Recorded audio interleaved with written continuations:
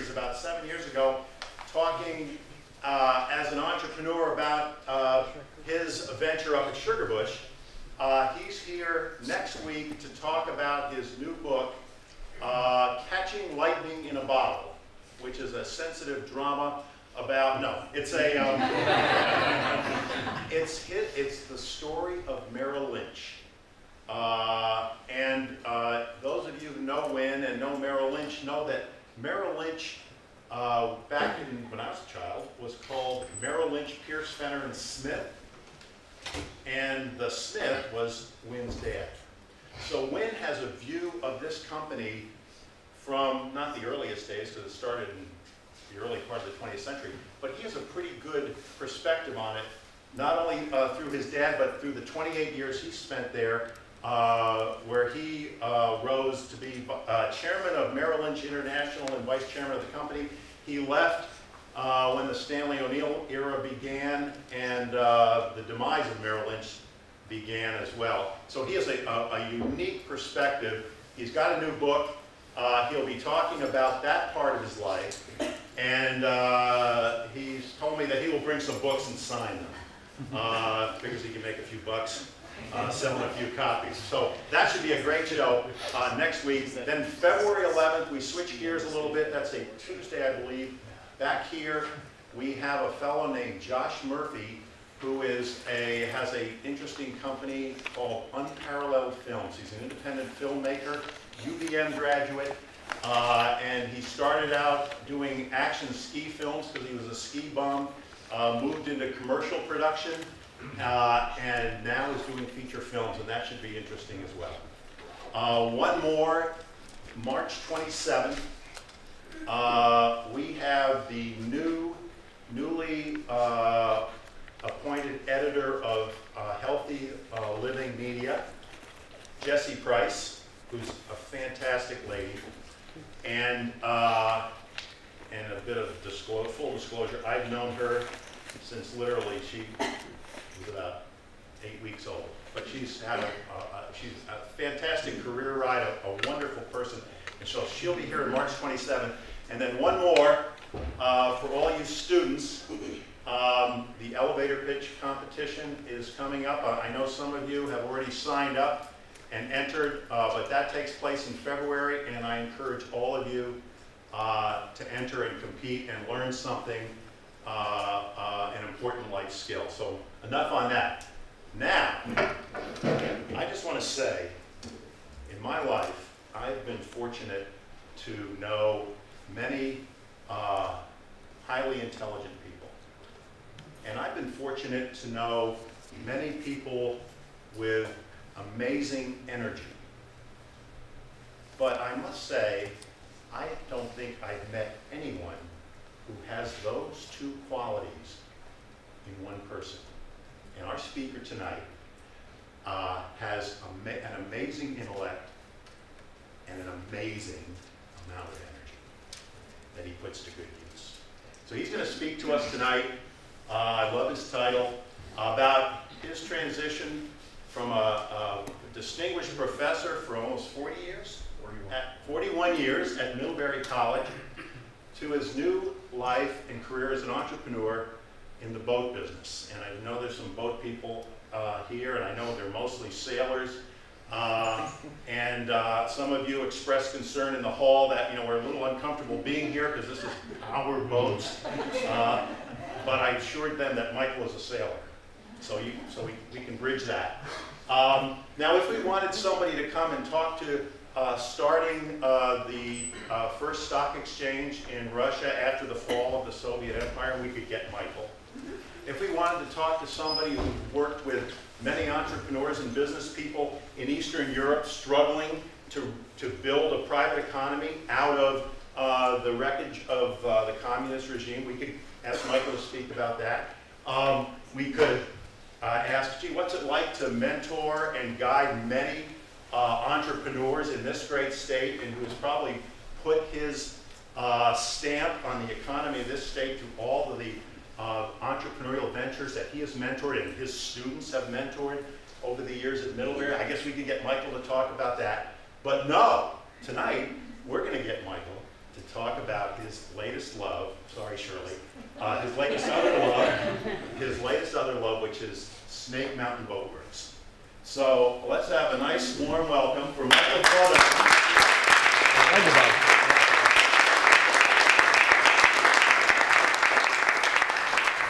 This feels truly strange because it was December 2010 when I was last in a room like this. And, and uh, I love being back. So for 41 years, I toiled in the academy. Um, I'm no longer there. I don't need a blazer anymore.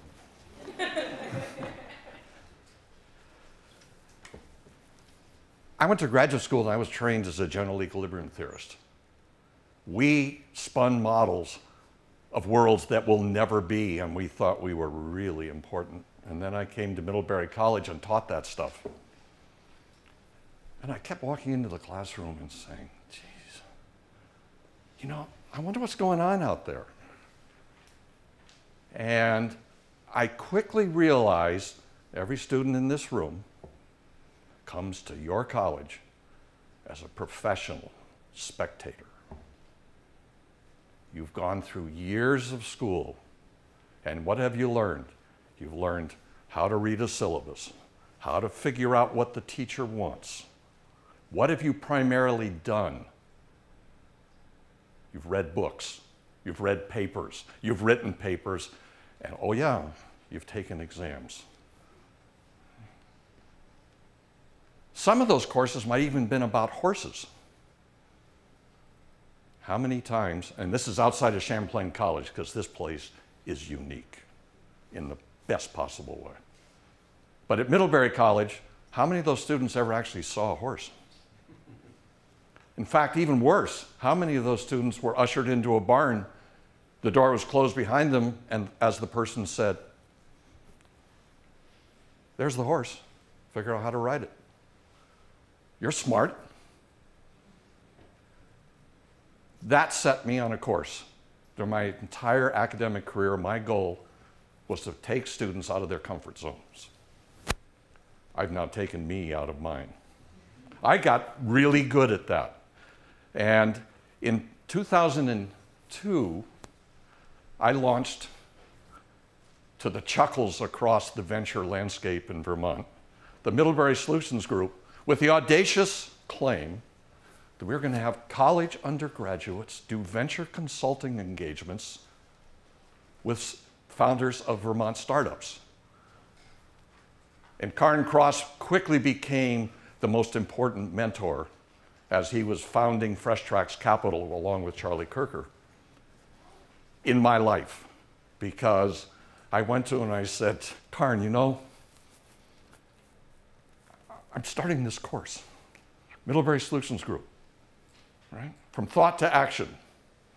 Middlebury students steeped in econometrics and microeconomic theory and Sophocles are going to tell entrepreneurs how to make soap and get paid for it. And Cairn was good, and he said, Well, let's talk through it. And in the ensuing eight years, over 200 Middlebury College students went through this program. One of my goals was to change life paths. Every one of those kids graduated going off in, a, in directions that Middlebury students hadn't gone off in before. During that time, we did 67 engagements with 67 Vermont founders. The important number is that one.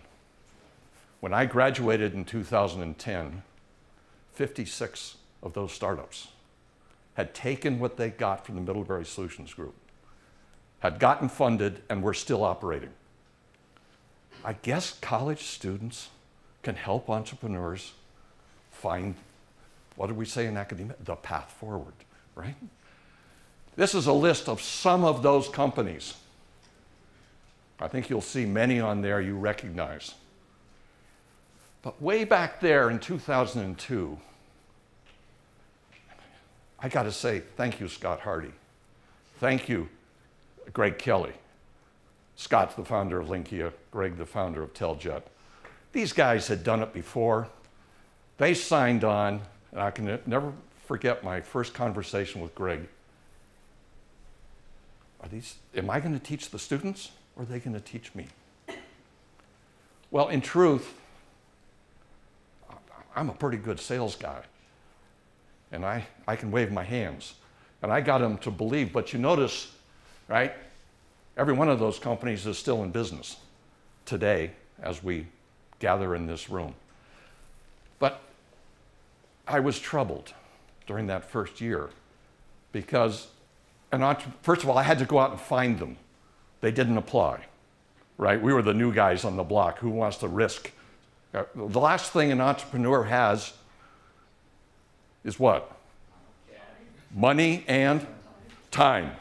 And what did I want them to do? Man, I want them to spend, I mean, these kids, when they did their evaluations this course, they claim they worked 30 to 60 hours a week outside of class on their project, on their consulting engagements. It became, it consumed them. But I didn't have a direction. And every one of these entrepreneurs would come in and I'd say, What would you like? What can we do for you? Give me a marketing study. I want a marketing study. I want a marketing study. Tell me how to market my product. And that just didn't sit well with me. I mean, it has to happen, right? So I spent some time thinking about I've got a bunch of really smart kids who are to, they, they just bit onto this, they drank the Kool Aid, and they were ready to go, but they had no tools. Right? Oh, I had them. I had them read some of the business literature. What I've discovered is most of those trade books, if you read the first 20 pages, you've read the whole book. Put it up on your shelf, get the next one, read the first 20 pages. Then I ran into a guy named Guy Kawasaki, The Art of the Start. Ah, structure.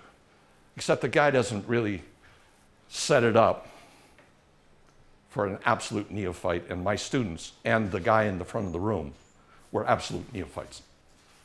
So, what I did was build what I called the zero based business model. And from then on, every one of our clients hated me during the first four weeks of the term. Because the one statement that Guy Kawasaki has early in the book great companies are built one customer at a time. And unless and until you know who your customer is, marketing study? Do you know what problem you're solving? So during the first four weeks of a 12 week term, my teams learn to be ruthless unless we can walk into the, that room with the rest of the clients and the rest of the kids and convince them that we can answer this. And I don't mean this eyewash marketing kind of big think, granular. How many? Where are they? Who are they? How do they buy? Well, you know what? It works. If you want to start a business, you have to answer those four questions. And then you can get to some of the rest. Look what's at the end marketing. Right? And the toughest thing I, I tried to get through both to the clients and the students is that you market to segments, you don't market to markets. You've got to understand where the segments are. They're all going to be different. And if you're in an industry, in a space where there's zillions of them, man, you've got a tough business. This one is really important. Successful businesses are started with matches, not flamethrowers. Especially if you're in a space with a whole bunch of segments, find the low hanging fruit, right? Get the product or the service out there. So,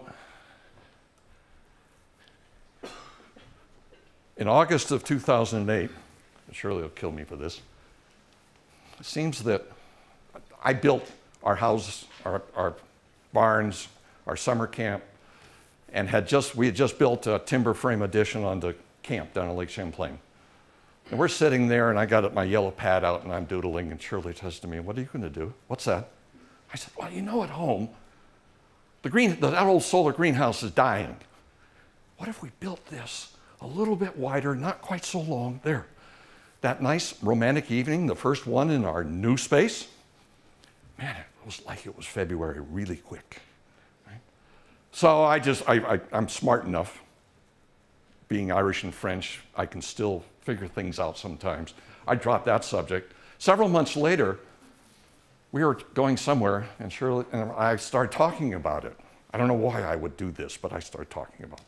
Shirley turned to me and said, You like wood? You used to restore antique clocks. We've got this big old sheep barn that we don't use anymore. Why don't you go buy an old boat and restore it?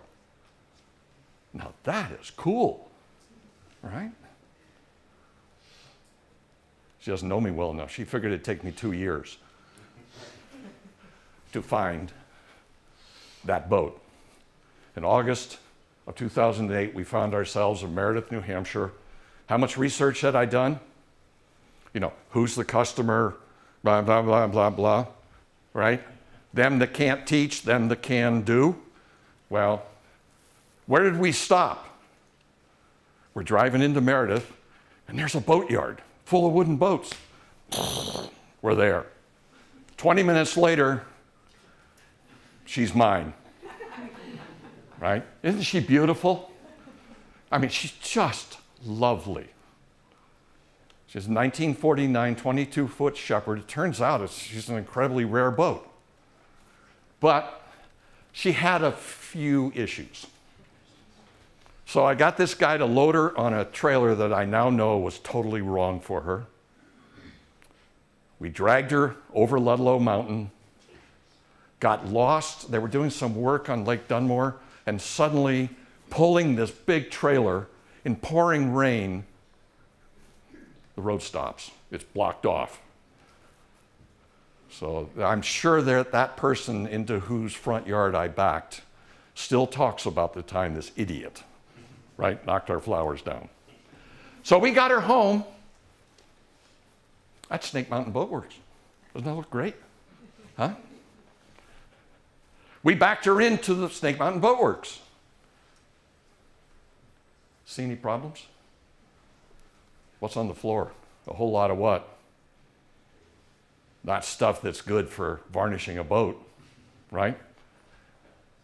The boat needed a, just a little bit of work. How much did I know? I was out of my comfort zone, and I've done it to myself enough during my life you know what I knew? I could do it. I could make it happen. I wasn't sure what it was going to be. But as you can see, we just had a big old sheep barn, an old pole barn I built in 77, 78. There she is. So, this was 2008. The economy had tanked. I found an auctioneer, Thomas Hirchak, and started following around to every time he had a wood shop being auctioned off.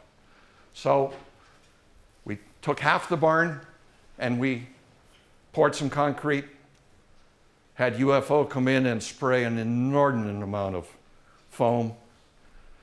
Michael bought some tools. Michael bought some more tools.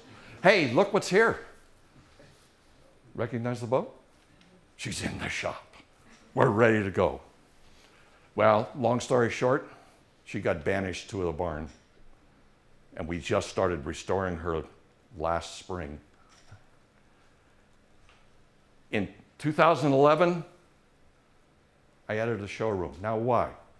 If I'm going to restore your boat, why do I need a showroom? what I realized very quickly as I started trying to answer those first four questions was that you are not going to entrust me with the family heirloom Chris Craft unless you can see my work, right? Right? Let's see what you can do. Well, to give me your boat and I'll figure it out and I'll show you what I can do. Nah, that's not going to happen. So, what I decided to do is I was just going to buy a couple of old boats. Well, turns out old boats are really easy to buy. I could probably buy 20 old boats a day and every one would be rare, right?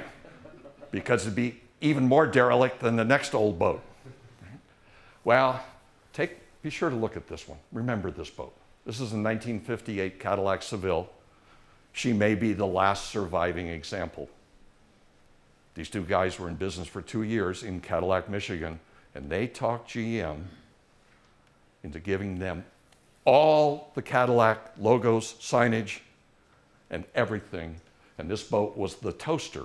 If you bought a Seville in Detroit, you were offered this boat. Well, probably not quite that boat. So, I'm an academic. I started getting on the web. And I found this guy, Dan Danenberg. Don Danenberg is beyond the guru of wood boat restoration. He only has three guys working for him, but he has a global reputation. And this is his, the other lesson from Kawasaki if you can't tell people what you do in a simple declarative sentence, what don't you have? You don't have a business, right? You don't have a business. So this was his. You know, I read this and why did he say restoration or preservation? We'll come back to that. But I'm an academic. He's written a book, all 700 pages of it. This is an incredible book. It is unbelievable. He is the most generous man in this field because this book is absolutely a how to guide. He starts out, these are the tools you need to buy. This is how you, I mean, the whole thing is like, but you know what's most important? You know what that is? That's a shepherd. If he put a shepherd on the cover, I made a great buy that first time, right? So Snake Mountain Boat Works was born. We're ready to go. But these things kept haunting me, right? Kept haunting me. So, what problem am I solving? And is, what problem am I solving? Snake Mountain Boat Works. People need to restore a boat. Bingo. We reverse the ravages of time. What ravages? There's Little Chief. She was amongst that group that was so easy to buy. She was also our first restoration project. Actually, she was our first preservation project. There's a difference, and we'll talk about it. She looks pretty good, right? Shiny. She's got the wrong bow light. And if the photograph were bigger, you could see that the bungs that are filling the counter sinks have had so much water in them over the years, they all have little black rings around them. What do you think? Ravages of time? That's the same boat after we removed all the rot. All those toothpicks, every single fastener hole must be filled with Gorilla Glue and toothpicks so that you have a good surface to receive the next fasteners. This is beginning the path down I've reversed Danenberg's order. Snake Mountain Boatworks preserves first, restores lot second. Restoring means, see all that cruddy old mahogany on the top sides? You can go out and buy nice new mahogany. It's easy to work. It's much easier to get a good finish on. But what's the problem? It's not old, is it? Right? Old boats are old only because they contain their old wood. So in this case, we did have to replace one plank at the back. We had to replace two planks uh, on the top sides. And we had to completely rebuild the frame of the boat. It was a perfect boat to restore the first time, right? Because we had to learn everything. And what we quickly learned is when you screw up on boats, you can undo it on wooden boats. Okay? So, is there pain? Oh, yeah. Yeah, there's pain. There was pain the day these, this couple pulled in with a, mm, it was a late 50s, early 60s century resorter. Their century boats are infamous for being fast and leaky because there's only one layer of, of mahogany. So they, they tend to leak. These people come in and I look at this boat and I said, What happened? Oh, well, it sank three weeks ago and we were busy. So we left it there. Pain. Pain, right? Where are, where's my market? Where's my customer? Around the water. Good. How much water is there in the Northeast? How contiguous is it?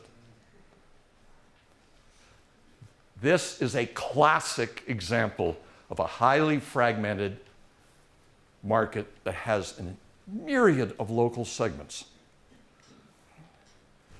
The ACBS is the Antique and Classic Boat Society. There are 7,000 members in North America, Europe, and now Asia. So you'd say, well, they're, they're just go to the ACBS, go to their shows, go to their things, and it's going to be cool. You can you got all those people, right, who are slaves to their wooden boats. Well, the trouble is, there's an ACBS chapter in Vermont and New York. We have about 100 members, most of whom like to do their own work. That's why they're members, right? So, the challenge in this space trying to grow a business is to become visible. It's not like Janice Shade trying, starting True Soap. What problem was she solving? She wanted a wholesome soap for people to use. So she really, they're, they're, they're excellent channels, they're well developed, right? The channels. What I have learned, in the beginning, I thought, ah, just buy space advertising. And I put Vermont Business Magazine, I, I can't remember, two or three thousand dollars for a little ad. I got one job. Fortunately, it was a $3,000 job. Um, but that fellow is, doesn't have many friends in the, in the space. I tried the Addison Independent, I've, I've the New Hampshire Boat Museum, the Maritime Museum, I can go on and on and on. You know, I still advertise in the New Hampshire Boat Museum more as a donation to the museum than anything else. And I might, might as well give them a donation and get a little notoriety out of it. The truth is, in this space, and this is critical when you're starting a business, how are transactions normally accomplished in this space? If it's done over the web, don't start trying to sell it on Church Street? Because people are used to buying this thing through via the web. If it's, if it's done through distributors, please don't try to start distributing it yourself. Right? What business are you in? You're not in the distribution business, you're in the I'm going to fix the X business. So I had to figure out how to make myself visible. Well, I started going to shows, putting, doing workshops, inviting people to the shop. It doesn't quite look like that old barn anymore.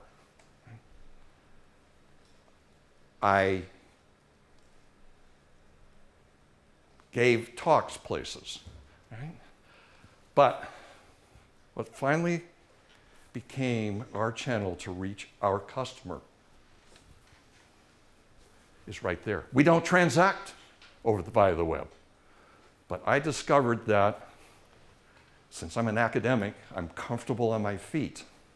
Right? And I started building both a website and then a YouTube presence where we now have over 150 videos posted that laid out our secret sauce. We save old wood boats. Kawasaki would smile. That's our business. We save old wooden boats. That's what we do, right? But we do it upholding the highest standards of craftsmanship. We will not do a backyard fix. There are a lot of people who want to sell their wooden boats, but no, they're kind of shabby. Would you, would you just sort of scuff the varnish, put another couple coats on, polish the metal a little bit, and, and make it look presentable? And I'd look at the boat. I said, My name's going to be on that boat. Right? It's my name. Because the seller is going to say, Oh, yeah, we had Snake Mountain Boatworks go all the way through this boat. It's in perfect shape. We won't do it. We do it one way, we do it the right way. That means we're more expensive than a lot of the competition, and we lose jobs. You know what? I'm happy to lose every one of them. And finally, we're preservationists. We will not replace a piece of wood we can save. And that's expensive too. Because a lot of times an old piece of wood's been beaten up, been sanded too many times, and it takes a lot of work to make it presentable and then all the planks in the neighborhood with it also presentable. And I love to talk, as you can tell. We communicate. Uh, we communicate with our, from the beginning, I've made it a practice that every client whose boat is in the shop will hear from me every Friday. And then for the first couple of years, I would get on the computer and start writing emails. These long, laborious emails with some photographs. But I was shooting video all the time and putting it up on YouTube. French and Irish, you know. Um, so, how do we market who we are? As I said, we tried print. I guess when I become the mega boat shop in right this part of Lake Champlain, I'll be out putting space ads. Right now, it's just it's taking resources I need desperately for other things. So I'm I've just stopped outside of New Hampshire, the museums and those kinds of things. Right? We go to boat shows. We go to boat shows to win. Both boats we've put in the Vermont show won their class. There's no better advertising. First of all, your boat's sitting there for three days, and you're next to it for three days with a box full of brochures for three days, right? And you're, hey, come on, come on, let me talk to you about this Chris Craft, right? Um, we continue doing workshops. But unfortunately, we've got so much work to do right now the cleaning out the shop so that we could actually, because our workshops aren't, hey, why don't you come in and have coffee and donuts with us? No, we'd take you through something, canvassing a canoe, right? trying four or five different strippers. We make we put you to work. Well, it's, it's become difficult. I'm sorry, young people in the room. I have a Twitter account. And I keep, and I also have a Facebook account. Facebook is Facebook's going to go away pretty soon. It's not, it doesn't fit. It doesn't reach the people I need to reach. Twitter, uh, maybe somebody in this room after this can grab a card, give me a call, and give me a, some training on how you can use Twitter. The problem is, I should be, is it tweeting? I should be tweeting multiple times a day. How can I tweet when I'm digging bungs out of, the, out of a mahogany plank? I, just, it hasn't worked for me. The cloud. This is a recent discovery, and this is gold. My son uh, restores and repairs and maintains PCs. So he's continually editorializing and, you know, kibitzing from the side, which means, Dad, you know, you really could do it right. So he introduced me to Dropbox, and I thought, geez, what a pain in the tail this thing is. Until I realized I no longer had to drag a thumb drive between the shop and the house, trying to keep all my records on it and making sure that the computer in the shop and the computer in the house and the computer at camp all have the same iteration of a document on them. That's cool. Then it hit me. You can share those folders. So, what I'm now doing with every single client I can convince to use the tool is I create a shared Dropbox folder. And you get gigs and gigs and gigs of space. So, every Friday, they'll get a half an hour video. And I can, it's, I think everybody in the room would agree. Looking at the still pictures, and I look at this, isn't that varnish nice? Yeah, it's really pretty, right? That's the resorter that sank, by the way, after we finished with it. Right? Um, but a moving picture with a voice that talks about this is why we're doing this here, and I'd really look forward to speaking to you about that.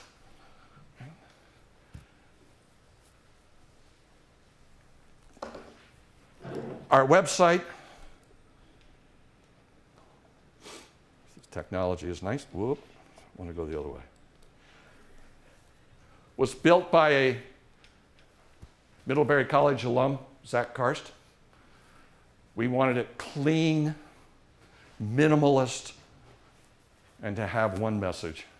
Oh, by the way, remember that Cadillac Seville? That's the Cadillac Seville.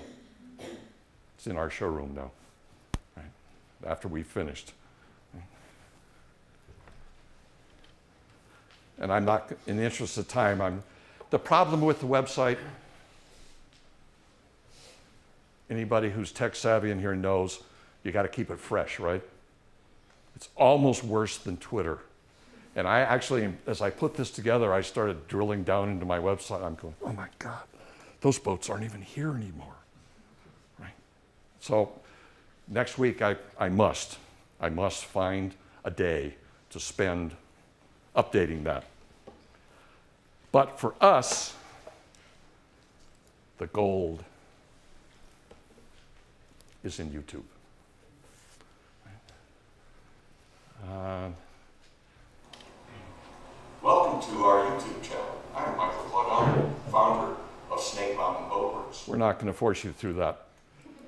Uh, Bob talked, reverse the ravages of time and uphold the highest that guy just will not shut up.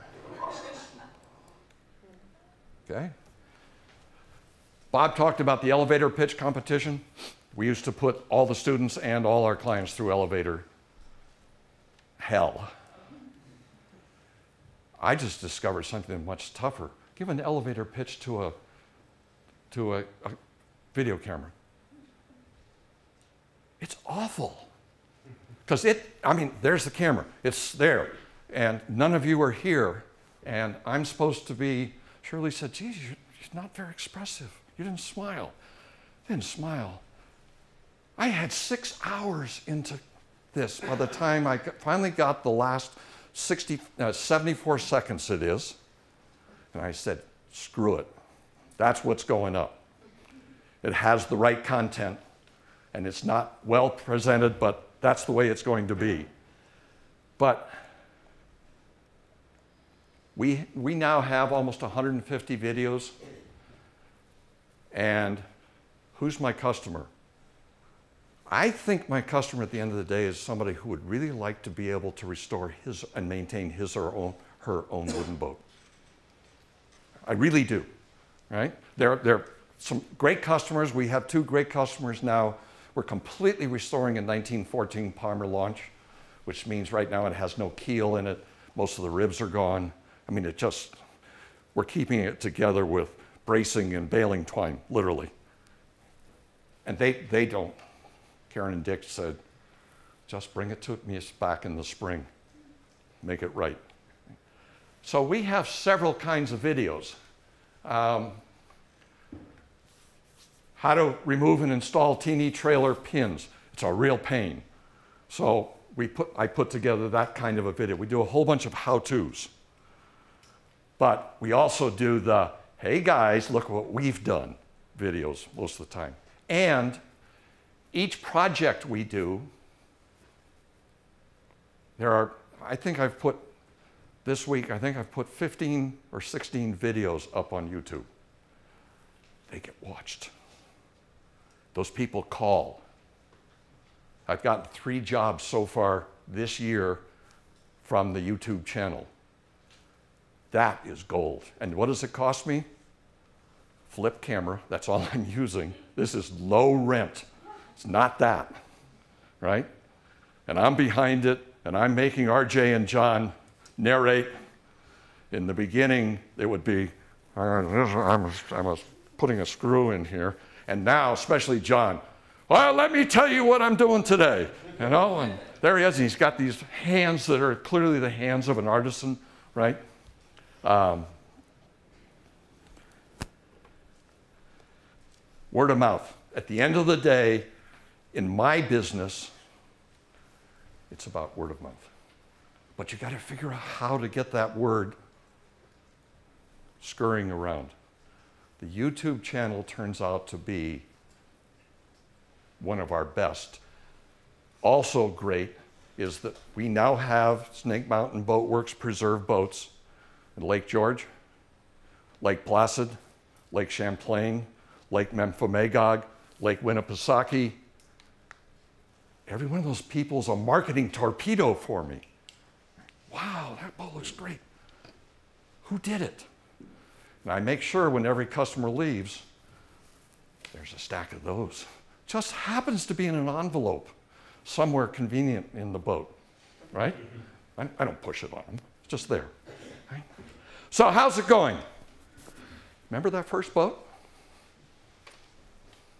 Um, I'm going to, Tyler, I'm sorry, but She's going to Lake Winnipesaukee in the spring. Turns out that shepherd's an incredibly rare shepherd that is in just unbelievable conditions. 1949. We did not have to change a single plug in the countersinks. Had to do a lot of stripping, a lot of sanding, a lot of fairing to make sure that the surface was flat so that when you look down, you don't see a ski slope. But, and this is the family that we have the launch from. They came in, they saw this boat, and see if I the right one. It was not for sale because this was the boat that started Snake Mountain Boat Works. Shirley and I are really emotionally attached to that. So Karen said to me, and I won't give you the number, she said, if you'll sell to me, I'll pay you X. and I'll cover the cost of putting it back together. There's emotion, and then there's business. And you know those bills come every month? And we built this business thanks to Dan Wormy and the Merchants Bank trusting us, believing in us with debt. I'm calling the Lawrence Miller Otter Creek model. Lawrence always used to tell me, I'm making beer for National Bank of Middlebury right? He blew, grew that whole business on debt. And then this is Little Chief. A piece of Little Chief. Remember the one you saw all torn apart? Well, Little Chief. So it's October 30th, 2013. We're preparing Little Chief for an ocean voyage. Why? because he's been purchased by a family in Salzburg, Austria. So we'll start building this video and we can't send her on this trailer, the trailer's way too wide, so we're making up a special trailer uh, for her to sit on that will roll it into the 20-foot sea container that within the next two weeks, she'll sit comfortably on this trailer. So this is the trailer that she actually arrived on. We cut it all down so it would fit into the container. Satisfying end to a somewhat tense day.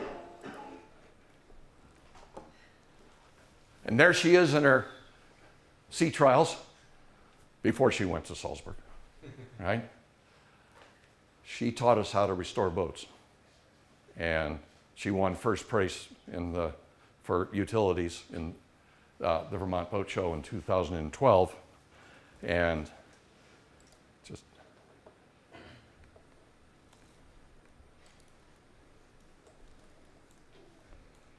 It's, uh, It's 19 degrees Fahrenheit this morning. We've had our first snow. Rusty Bishop. I'm not going to take it all the way through this. You can find this on YouTube. Snow and cold. So we'll have the winter in Yuma is going to be a tight fit. And going into the container, the trailer has moved just a little bit laterally. And as a result, So we finally got her in, but she's going across the Atlantic in December to Hamburg, right? This poor boat was tied down. They, I said, How many lag screws can we put into this container? And the guy said, Till you get tired.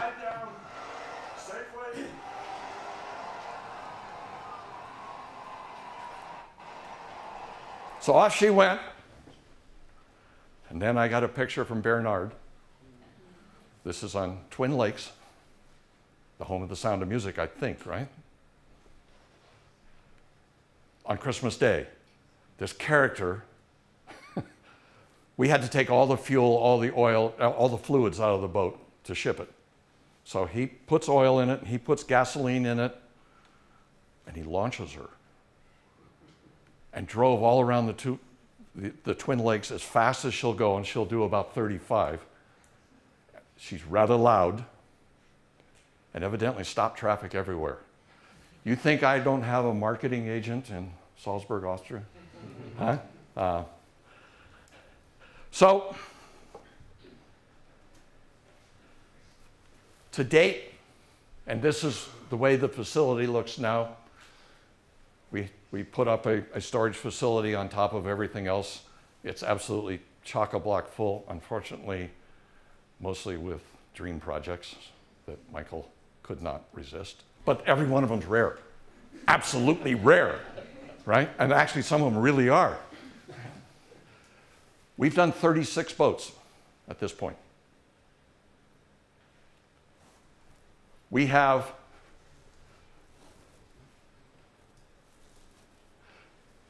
seven in the shop this winter with four more coming. We've got traction. But the most fun of all is when we finish a project and we get the owners back, we go to Lake Champlain with the boat. Watch. And he's not here, so we don't. You'll recognize who this is. Whoops. Here comes Eleanor, completely restored, bimini affixed, on her way to Lake Champlain and to her new home in Shelburne Bay. She escaped uh, an old barn Anybody figure out who owns her yet? Crystal Bay, New York on Lake George, V8. This boat had been in a barn All the paint on the top At- Hacker on Crystal Bay for at least 20 years. And along the seam between the top and bottom parts of the, with disc brakes. The one thing I've learned is the YouTube videos really should not be longer than two minutes, but seven is so much more fun. We are on to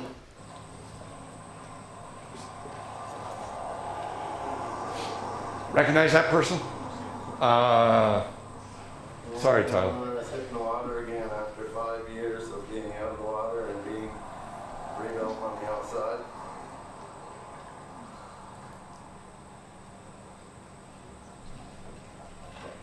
Recognize that guy?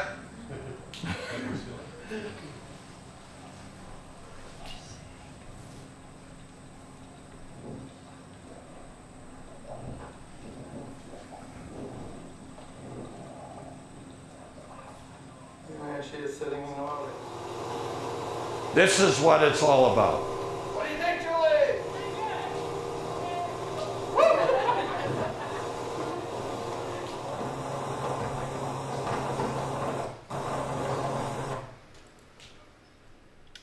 And that guy is that guy. Thank you very much.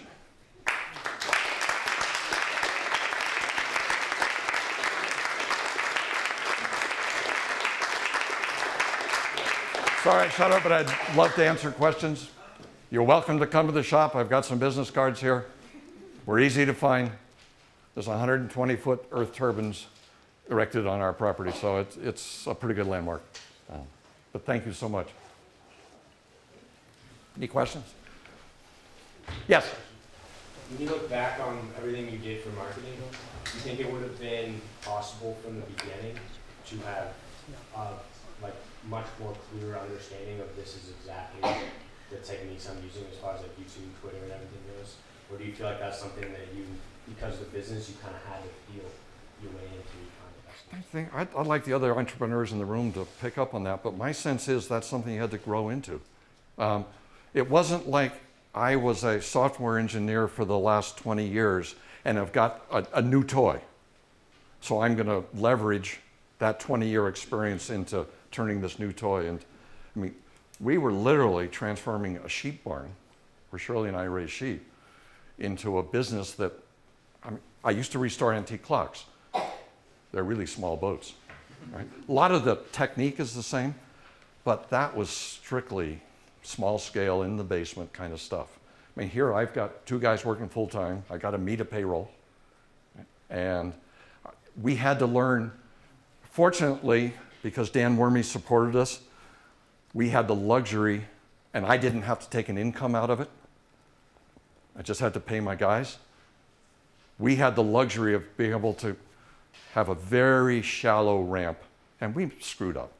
I mean, I bought a bunch of boats that I finally just put on Craigslist and went, right? Because they were dumb purchases. Particularly, I bought several fiberglass boats. We restored one fiberglass boat. Angelo Lynn's 1972 Hydrodyne ski boat. And that thing terrorizes Lake Dunmore now. And we did a great job. It took me a year to get that GD fiberglass dust out of the shop so that I could varnish again. Um, so the other challenge as you start a business, I'm sure there are people in here who have had the same experience. The beginning, any business that came in the door that would help me pay the bills was very, very, very hard to turn down. And the problem is, like that resorter, their hope was that we could put the boat back in the water for $5,000. Well, we blew through that in the first week, and we were still tearing things apart. Um, so, I, could I advise the next boat guy? Yeah. Yeah, I could. Would I? No. It's a tiny, tiny niche. I mean, there are 7,000 members in North America, Europe, and, and Asia on the ACBS. I mean, it's not a big group. Of those 7,000, 26 are under the age of 40. It's also an aging group, right? It's not a millennial space. Yes, Bob. So maybe ask a- related question.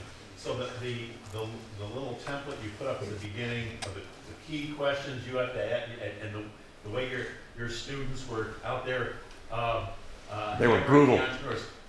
When in this journey did you first go, oh, I better answer those questions? Because it sounds like you got pretty far into this. I got, before you, so my question is, if, if, if you had yourself and your student crew, and you had signed up for your program, do you think this journey would have been different? Would have been much shorter. We, we would have found the answer to your question much sooner, right? But, and Shirley kept asking me, you know, if this is a business, aren't you supposed to sell things?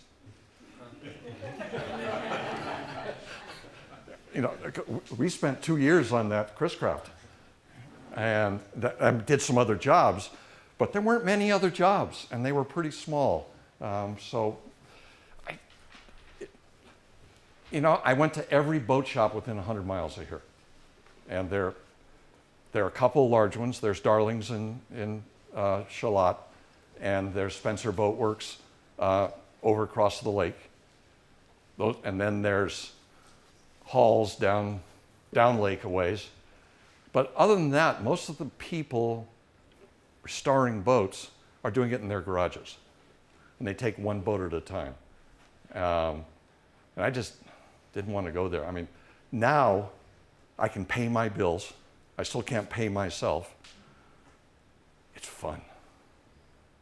But the hours, the, you know, professors think they work hard.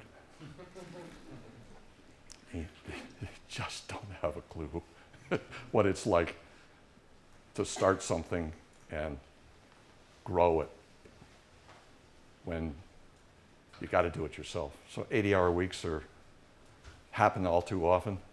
Um, unfortunately, with this business, and having the two guys I have uh, is fantastic. If we're doing a, a, a series of varnishing routines and there's about an eight hour gestation period between applications or 10, if the next application is going to be at 2 in the morning and I get up at night and look out there, there's John's truck, right? Or there's RJ's car. I mean, they, they know, they have full access, they manage the projects. Uh, they all had to read Danenberg's book. Neither one of them were very pleased, even though Shirley taught them English. Um, but after we did that, I'd be over on a bench working on something, there'd be a Danenberg says to do it this way. Now, we don't use Dannenberg anymore because he really believes in restoring first and preserving last. His advice is when you get a boat to do, the first thing your customer is going to see is the front deck.